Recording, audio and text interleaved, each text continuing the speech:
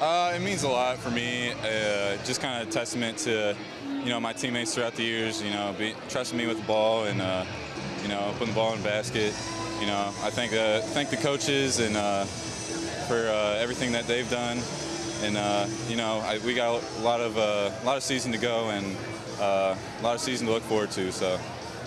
Defensively, I mean, you guys, this is another low for you.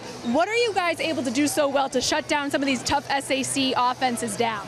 Um, I think it's kind of a testament just to our scouting reports. You know, we, we know we know uh, what the other team's strengths are uh, going into the game, and and you know we, we just kind of we kind of execute on defense. We play as a team, and you know we take away uh, what we need to, and uh, you know usually that leads to a kind of a low low scoring game. But you know it's, it's a testament to our to our team uh, uh, executing the scouting report.